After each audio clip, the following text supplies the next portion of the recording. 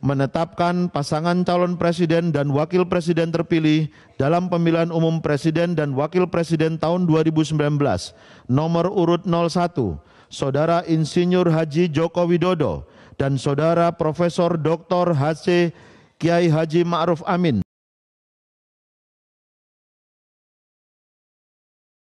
Keluarga, uh, kembali lagi dengan gue Iki di Bicara HAM spesial 2 tahun pemerintahan Jokowi dan Ma'ruf Amin. Pada Bicara HAM kali ini, kita akan bahas soal sikap buruk Presiden terhadap isu internasional. Nah, Kali ini uh, gue gak sendirian untuk membahasnya karena gue ditemani oleh Aulia Raya dari divisi advokasi kontras. Halo Raya, gimana kabarnya? Sibuk apa nih akhir-akhir ini divisi internasional kontras? Rizky, halo juga uh, teman-teman penonton channel YouTube Kontras dan juga um, warga Kontras. Uh, kenalin, aku Raya dari Advokasi Internasional dan puji syukur kabarnya baik hari ini dan kita lagi sibuk uh, beberapa isu ya termasuk submission harian juga um, Papua uh, penyiksaan dan lain-lain dan juga Myanmar. Oke mungkin langsung ke pertanyaan pertama ya Rai. Kan dari judul bicara HAM kali ini kan mungkin teman-teman yang menonton itu pasti bertanya kan kenapa uh, sikap Presiden Jokowi dianggap buruk menangani isu internasional. Mungkin uh, Rai bisa kasih gambaran dulu gak sih isu apa yang dianggap uh, buruk penanggulangannya oleh Jokowi dan juga Menteri Luar Negeri saat ini. Lalu bisa jelasin nggak uh, sikap yang diberikan pemerintah Indonesia terhadap isu internasional saat ini itu gimana? Pertanyaan yang ini ya bagus ya untuk membuka uh, mengenai uh, isu terkait dua, dua tahun Jokowi jadi sebenarnya buruk di sini bukan berarti sesuatu yang nggak bisa diubah, tapi justru uh, kita memilih kata buruk karena berarti ini bisa diubah menjadi sesuatu yang lebih baik gitu. Nah, yang pertama terkait dari isu luar negeri dulu ya yang direspon oleh pemerintah yaitu isu Myanmar, baik dalam lingkup um, pengungsi Rohingya ataupun saat kudeta 1 Februari 2021 kemarin gitu. Jadi uh, pada saat pengungsi dulu ya aku bahas kita kedatangan ini kan banyak wave atau banyak gelombang pengungsi berkali-kali ke Aceh gitu. Dan dengan berbagai kondisi pengungsi yang udah terombang-ambing di lautan selama berbulan-bulan, mereka mengalami um, kelaparan, juga banyak yang sakit dan bahkan mungkin meninggal di kapal dan butuh uh, pertolongan segera gitu. Nah, memang mereka disempat diterima di Aceh dalam beberapa waktu, namun di 2020 kemarin saat setelah uh, pengungsi, um, saya lupa bulan apa, tapi intinya uh, Menteri Luar Negeri Indonesia menyatakan bahwa um, mereka harus dikembalikan ke Myanmar dan Myanmar harus menyelesaikan masalah yang ada di dalam negerinya. Memang betul itu tanggung jawab Myanmar untuk menyelesaikan masalah tapi untuk mendorong um, pengembalian pengungsi ke negara asalnya itu cenderung abai ya terhadap nilai-nilai HAM gitu. Karena kita tahu mereka lari dari negara mereka karena mereka terancam di negara sendiri. Nah, ketika tiba di negara um, yang sekiranya bisa memberi perlindungan sementara, mereka malah ditolak dan dianggap untuk ke, harus kembali gitu. Padahal um, sebelum Indonesia ataupun mungkin di sini konteksnya Menteri Luar Negeri sebelum bisa uh, ngomong gitu kalau misalnya harus dikembalikan ke Myanmar seharusnya bisa menganalisis dulu situasi yang ada di Myanmar seperti apa apakah akan berbahaya untuk para pengungsi yang dikembalikan atau memang ada tempat untuk mereka untuk di negara mereka sendiri gitu dan informasi tersebut juga harus uh, diberitahukan gitu ke, kepada kamu kepada pengungsinya supaya mereka bisa memilih uh, jalan mereka sendiri apakah mereka mau dikembalikan atau enggak gitu. Nah, um, namun seharusnya sebelum sampai ke tahap itu tentu saja mereka harus diterima dan di, diberikan pertolongan yang sesuai yang memang dibutuhkan. Dan juga um, Indonesia walaupun belum meratifikasi konvensi terkait pengungsi, tapi ada perpres yang mengatur tentang uh, pengungsi juga dan itu bisa diaplikasikan gitu di di di daerah-daerah yang rata-rata menerima pengungsi seperti Aceh. Itu yang pertama. Yang kedua terkait Myanmar adalah mengenai kudeta, yang mana uh, tidak berapa lama setelah kudeta terjadi, sekitar masih di bulan Februari kalau nggak salah, itu uh, Menteri Luar Negeri menemui um, Menteri Luar Negeri Myanmar yang ditunjuk oleh uh, pemerintahan militer. Loh, kalau misalnya kalau misalnya kalian nanya gitu, emangnya kenapa kalau misalnya ketemu kan berarti bagus Indonesia bergerak cepat untuk mendorong um, kembalinya demokrasi di Myanmar. Tapi permasalahannya adalah dengan langkah pertama yang diambil yaitu menemui um, pemerintahan militer, berarti um, Indonesia sebagai negara mengakui atau melegitimasi kekuatan militer itu dan seolah mengakui kalau memang pemerintahan militer itu ada dan sah di Myanmar, padahal um, kudetanya kan nggak sah. Jadi uh, di situ permasalahannya um, kita menganggap dari ini ya um, koalisi masyarakat sipil di Indonesia untuk Myanmar menganggap kalau hal tersebut um, melegitimasi kekuasaan militer dan juga jadinya mengkerdilkan um, pihak yang sudah sah uh, atau pemerintahan yang sudah sah di Myanmar ataupun juga suara rakyat Myanmar. Um, tapi untuk seterusnya sebenarnya Indonesia bisa dibilang naik turun gitu ya kadang baik kadang buruk tapi uh, tapi mostly di berbagai kesempatan di internasional gitu di di badan badan um, internasional seperti di Dewan HAM ataupun di Majelis Umum rata-rata ya selalu denial sama situasi yang ada di dalam negeri. Mungkin begitu dulu kali ya, Rizky. Uh, nah, makasih penjelasannya Raya. Tadi Raya udah ngejelasin juga ada beberapa isu uh, nasional yang sedang ditangani oleh Indonesia, yaitu Myanmar, uh, berketerkaitan dengan pengungsi Rohingya yang ada di Aceh dan juga desas-desus uh, kedatangan junta Myanmar yang kemarin sempat rame kan cuman uh, akhirnya nggak jadi. Uh, lah oke okay nih uh, kita langsung ke pertanyaan selanjutnya Ray.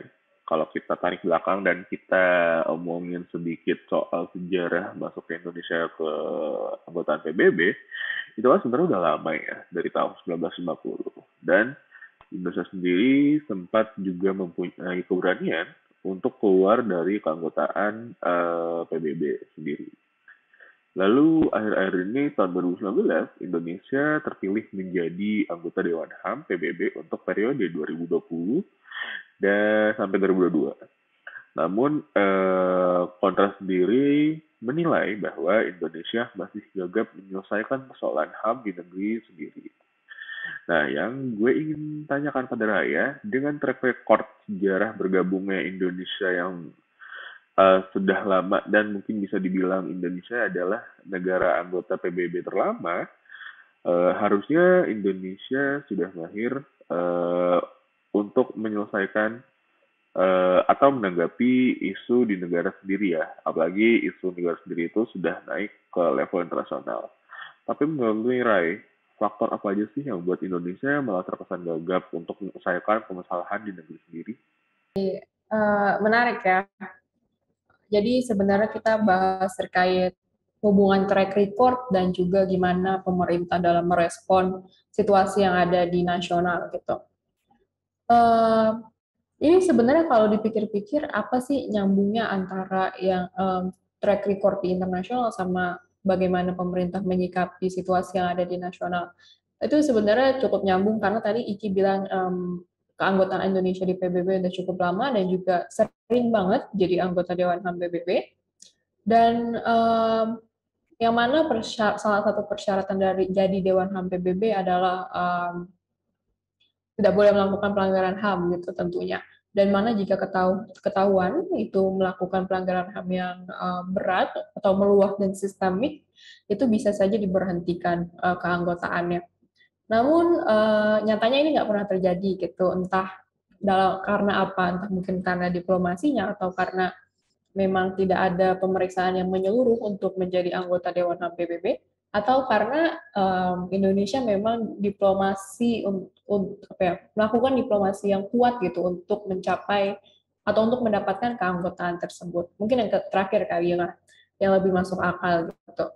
Jadi memang uh, di luar negeri memang Indonesia dianggap wah negara demokrasi atau de negara demokratis yang besar yang yang sangat toleran, toleran dan juga um, berbagai budaya bisa hidup berdampingan gitu. Padahal kita tahu sehari-harinya masih banyak kekerasan baik se, apa secara vertikal ataupun horizontal.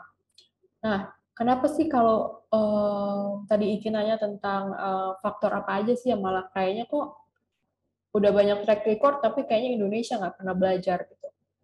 Yang pertama mungkin um, gimana Indonesia menempatkan diri ataupun um, ya menempatkan uh, Indonesia dalam uh, kancah internasional ataupun dalam badan badan-badan uh, HAM internasional.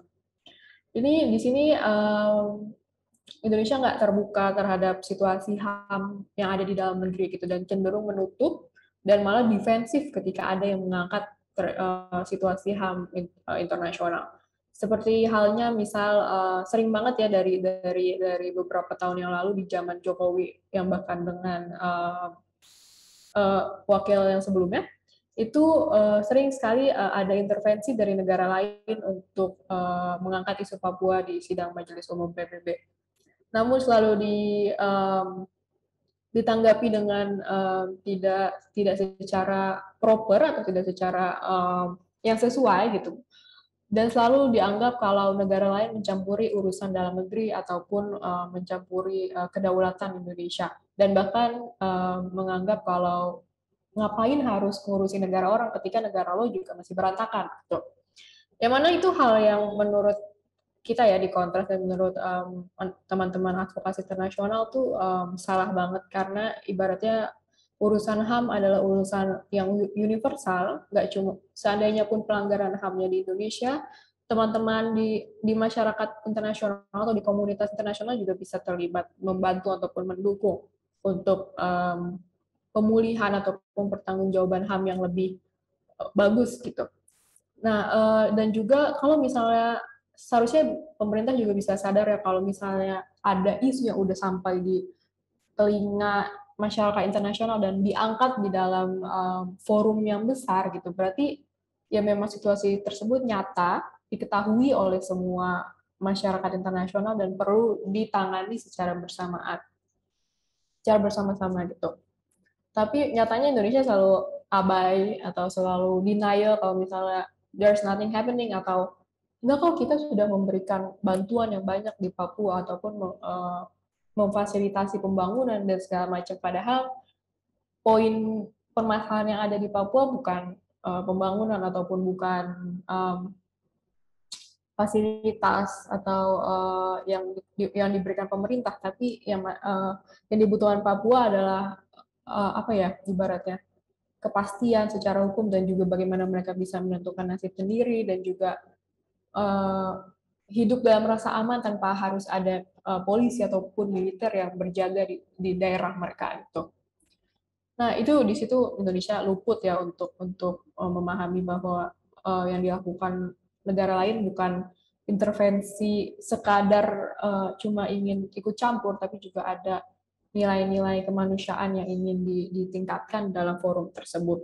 Yang kedua juga um, mungkin dengan adanya Indonesia di dalam Dewan HAM ataupun di mungkin pernah masuk di Dewan Keamanan juga itu bisa uh, menjadi cara untuk sedikit sedikit ya uh, menutup uh, pembahasan terkait situasi HAM di Indonesia. Karena dengan adanya Indonesia di Dewan HAM gitu uh, prestigious lah.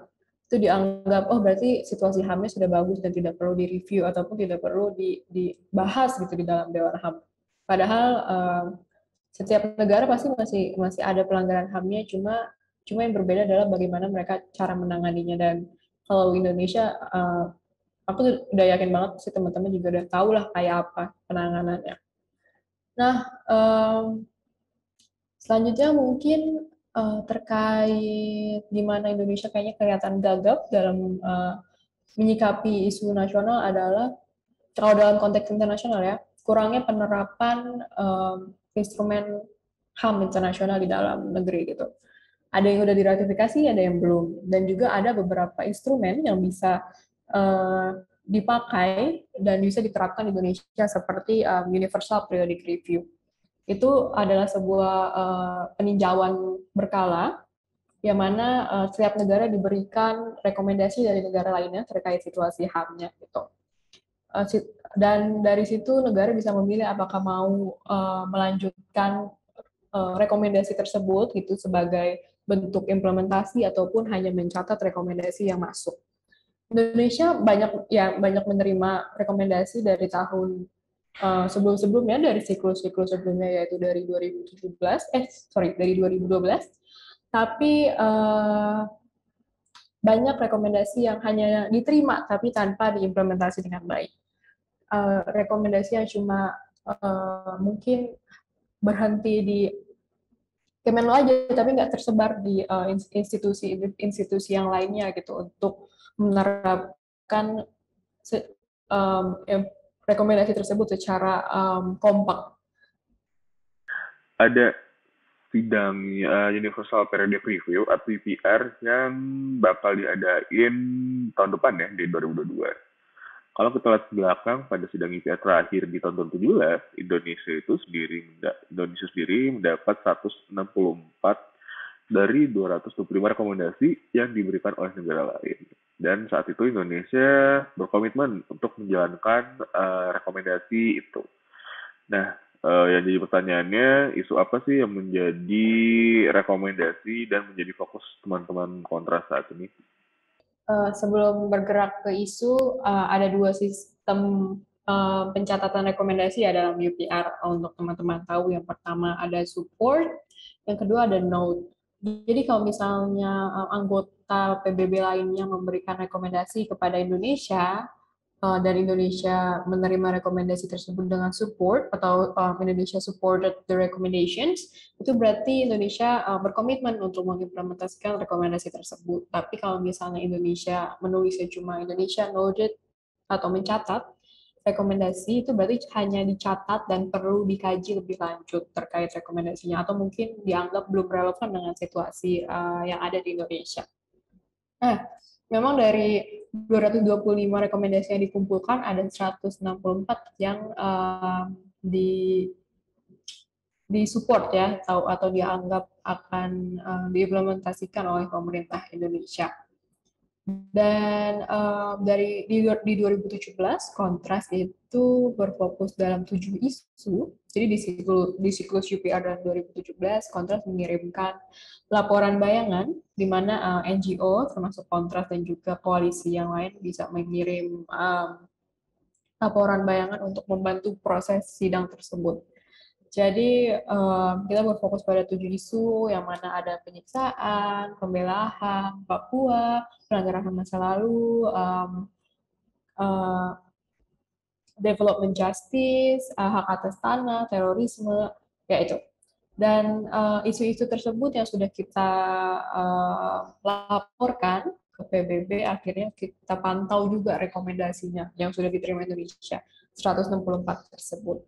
Nah, kita pantau, kita bagi, kita bagi lagi dalam beberapa koridor um, isu ya kayak tadi yang aku sebutin pembela HAM dan lain-lain.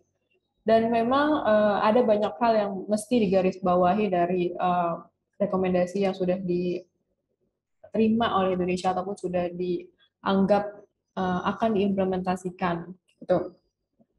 Kita melihat kalau belum ada komitmen yang kuat untuk uh, mengimplementasikan rekomendasi tersebut, padahal sidang selanjutnya sudah dekat ya, yaitu 2022 gitu. Padahal ya 2022, sorry.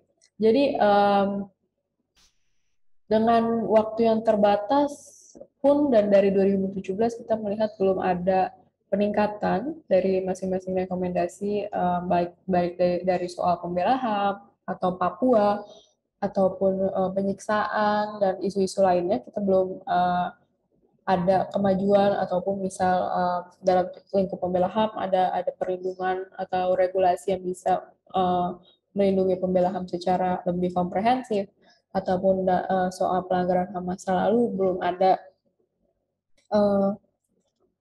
kasus-kasus uh, yang diselesaikan ataupun pencegahan tidak berulangan yang akan terjadi di masa depan dan mungkin masih terjadi di masa kini dan juga isu-isu Papua malah semakin eskalasi dan juga isu-isu lainnya. Nah, um, banyak juga rekomendasi yang masuk terkait ratifikasi instrumen-instrumen yang belum diratifikasi oleh Indonesia. Salah dua, ya bukan salah satu ya, jadi ada ada dua yang penting, yaitu yang pertama second optional protocol um, untuk ICCPR terkait hukuman mati, juga ada option uh, second optional protocol atau uh, protokol opsional kedua um, untuk konvensi anti penyiksaan atau CAT itu terkait pembentukan mekanisme uh, pencegahan penyiksaan dan juga terkait uh, ratifikasi konvensi anti penggalangan paksa. Nah, berarti ada tiga ya, bukan satu, bukan dua. Nah, uh, tiga ini sebenarnya penting banget nih kita menunggu banget Indonesia untuk meratifikasi ini karena sudah diserukan oleh banyak negara lain untuk diratifikasi dalam UPR ataupun dalam forum-forum uh, lainnya. Tapi sejauh ini kita belum melihat ada perubahan ataupun ada uh, bisa kita bilang belum ada kemauan untuk bergerak ke arah sana walaupun memang ada ini ya ada janji kalau misalnya pemerintah akan meratifikasi ICPP ini sebelum hari HAM besok tanggal 10 Desember. Tapi kita uh, cuma bisa memantau dan mendorong kalau memang uh, seandainya itu benar-benar bisa uh, berjalan, tentu saja uh, ada setidaknya ada rekomendasi yang memang benar-benar dijalankan oleh pemerintah. Tapi kalau misalnya seandainya itu tidak berjalan ya ya terpaksa memang kita harus mencatat kalau rekomendasi yang yang diterima oleh pemerintah dan didukung atau disupport itu pada dasarnya tidak ada yang uh, berjalan secara maksimal gitu. Nah, um, ada juga isu-isu lainnya sebenarnya um, masih sama seperti yang tadi aku sebutkan.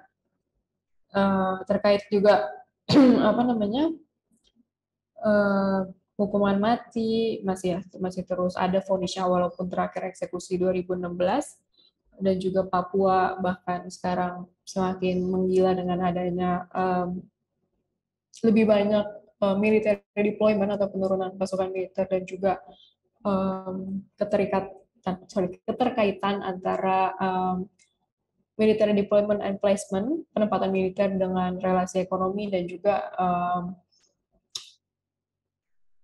keterbatasan dari um, sebenarnya hukum uh, otonomi Papua itu sebenarnya ada tapi masih terbatas gitu implementasinya. Nah, uh, kita melihat kalau sebenarnya Indonesia masih punya waktu untuk memperbaiki fokus-fokus ini gitu terlebih yang memang banyak yang di, banyak direkomendasikan oleh eh, negara-negara uh, lain ya seperti yang tadi udah disebut kontras itu masih bisa diperbaiki da, uh, dalam mungkin waktunya sedikit sampai 2022 kalau tidak salah di Oktober 2022 sidangnya tapi seandainya mungkin pemerintah mau dan berkomitmen maka bisa saja satu dua atau mungkin lebih banyak rekomendasi bisa uh, bisa kita checklist kalau misalnya itu udah emang benar-benar dilaksanakan. Oke, okay. oke. Okay. Tadi uh, Raya sempat mention beberapa peraturan seperti ICCPR uh, dan ICCPD yang sudah diratifikasi oleh Indonesia. Lalu uh, ada juga uh, OPCAT uh, yang di mana banyak uh, pihak seperti Komnas HAM maupun negara lain uh, yang sudah menyarankan Indonesia untuk cepat-cepat untuk meratifikasinya. Nah, jadi pertanyaan apa sih uh, keuntungan atau manfaat uh, ke depan setelah Indonesia sendiri sudah meratifikasi uh, instrumen OPCAT tersebut? Sebagaimana yang kita tahu kan emang praktik penyiksaan tuh masih terus berjalan ya di Indo. Benar-benar masih uh, banyak banget tiap hari selalu ada praktik-praktik penyiksaan entah dari polisi ataupun dari uh, militer. Nah, uh, Indonesia memang sudah meratifikasi konvensi anti penyiksaan dan itu uh, sudah menjadi awal yang bagus gitu. Tapi kalau uh, dengan adanya ratifikasi tambahan dari um, konvensi anti penyiksaan ini yaitu dengan uh, protokol opsional ini juga menambah uh, apa ya manfaat untuk melindungi warga dari penyiksaan gitu. Jadi di OPCAT ini juga ada uh, penetapan sistem kunjungan rutin ke tempat-tempat uh, penahanan oleh badan-badan ahli independen yang mana kita tahu banyak banget penyiksaan terjadi di tempat-tempat penahanan ataupun banyak juga kasus-kasus yang ditangani kontras yang mana kadang uh, penyiksaan dari yang mengakibatkan luka berat sampai meninggal terjadi di, di tempat penahanan. Nah, uh, juga ada beberapa hal gitu yang menjadi uh, yang diatur di bawah OPCAT yang menguntungkan Indonesia adalah pembentukan uh, National Preventive Mechanism atau mekanisme uh, pencegahan nasional. Nah, ini sebenarnya di Indonesia sudah ada ya, yaitu KUPP atau Kerjasama untuk Pencegahan Penyiksaan yang isinya adalah lembaga-lembaga HAM, yaitu Komnas HAM, Komnas Perempuan, KPAI, LPSK, dan Ombudsman. Dan ini sudah menjadi langkah yang bagus gitu. Namun dengan karena OPCAT belum diratifikasi, jadi kerja KUPP juga bisa kita bilang belum ada aturan yang pasti dan juga belum maksimal. dan juga independensinya masih belum bisa um, kita pastikan karena belum ada peraturan yang mengatur uh, itu sendiri. Nah, um, dan uh, agar jadi agar tugas KUPP ini juga bisa lebih uh, aktif dan juga bermanfaat untuk mencegah penyiksaan, uh, ratifikasi OPCAT ini dibutuhkan banget gitu, apalagi uh, KUPP memang sudah uh, bisa monitoring tempat-tempat penahanan ataupun penjara gitu untuk melihat fenomena penyiksaan, tapi dengan dengan adanya OPCAT uh, mekanisme tersebut akan lebih jelas dan juga uh, bisa lebih uh, dipakai untuk mendorong pemerintah untuk mengurangi penyiksaan secara keseluruhan gitu. Jadi nggak nggak cuma mungkin uh, di ranah polisi aja, tapi juga di ranah militer. Nah, uh, oke, okay. uh, tadi berarti uh, dengan Indonesia meratifikasi uh, instrumen OPEC tersebut, uh, berarti uh, itu sebagai sikap bahwa Indonesia benar-benar sungguh-sungguh dalam uh, menyelesaikan atau menuntaskan kasus-kasus pelanggaran HAM yang terjadi. Okay, uh, kita masuk ke pertanyaan terakhir nih, Rai. Uh, kan tadi selain OPCAT, ada juga uh, instrumen yang belum diratifikasi. Lalu uh, ada juga instrumen yang sudah diratifikasi, tapi kasus-kasus pelanggaran HAM juga tetap terjadi. Nah, uh, kalau menurut Raya dan teman-teman kontras, berapa sih uh, nilai atau skor yang Indonesia dapat nih uh, dari berbagai rekomendasi UPR yang udah dijalaninya. Ini semacam ngasih nilai ya, guru ngasih nilai ke murid gitu. Tapi ini sebenarnya sebagai evaluasi ke negara juga. Kalau bisa dibilang uh, dengan Indonesia menerima begitu banyak rekomendasi, berarti Indonesia mengakui kalau uh, permasalahan HAM tersebut ada dan memang perlu ditangani. Itu perlu kita kasih nilai yang baiklah gitu dengan pengakuan gitu nggak denial itu sudah cukup baik. Tapi masalahnya implementasinya masih jauh dari kata sempurna bahkan masih jauh dari kata baik. Jadi um, dari kontras ya ini menyimpulkan kalau mungkin bisa kita kasih nilai 40 per 100 wah remet dong. Oh iya tentu pasti remet gitu karena uh, masih banyak uh, peristiwa kekerasan yang berulang tanpa ada uh, address atau penanganan yang maksimal gitu atau penanggulangan sehingga kekerasan nggak nggak nggak berulang lagi itu masih kurang di Indonesia. Juga yang tadi soal ratifikasi bertahun-tahun masih uh, tidak ada langkah yang diambil gitu dan juga peristiwa peristiwa-peristiwa lain dan juga um, pelanggaran HAM lain yang sebenarnya uh, bisa kok di, di, diterapkan gitu rekomendasinya karena Indonesia punya lima tahun ya dari tahun 2017 kemarin. Tapi masalahnya karena sampai sekarang kita tahu kenyataannya seperti apa ya jadi pertanyaannya selama ini ngapain aja gitu.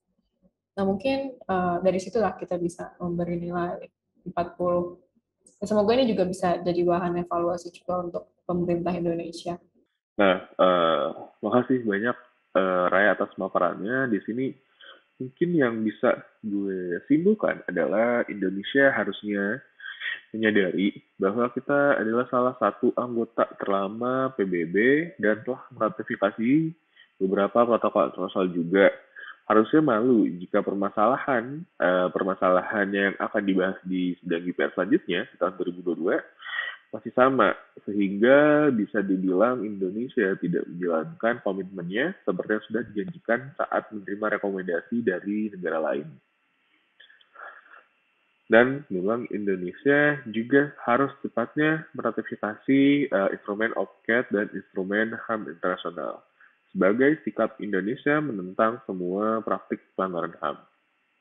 Nah, namun setelah tidak hanya meratifikasi saja dan selesai gitu, tapi Indonesia sendiri harus menjalankan tanggung jawabnya setelah menandatangani menandatangani instrumen HAM tersebut uh, seperti memberikan penjelasan mengenai kasus pelanggaran HAM berat yang tak kunjung menemui titik terangnya dan memberikan kesejahteraan pada keluarga korban pelanggaran HAM.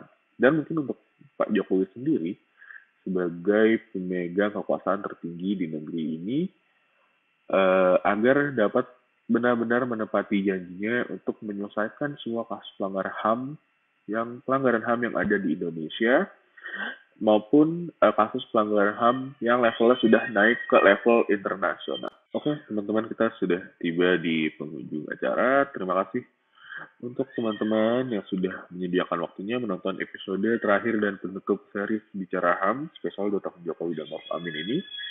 Jika teman-teman ingin mengetahui lebih lanjut tentang bahasan episode ini, kalian bisa kunjungi sendiri website Kontras di kontras.org. Di situ banyak rilis uh, siaran pers maupun laporan mengenai sikap Indonesia di kancah internasional dalam menangani permasalahan asasi manusia. Lalu teman-teman juga bisa melihat kanal YouTube Kontras di playlist Bicara HAM spesial 2 tahun Jokowi MA untuk uh, menonton episode-episode Bicara HAM sebelumnya. Sekali lagi terima kasih oleh Ryan untuk waktunya dan kesediaannya memberikan penjelasan dan edukasi kepada kita semua. Gue Iki, uh, pamit undur diri.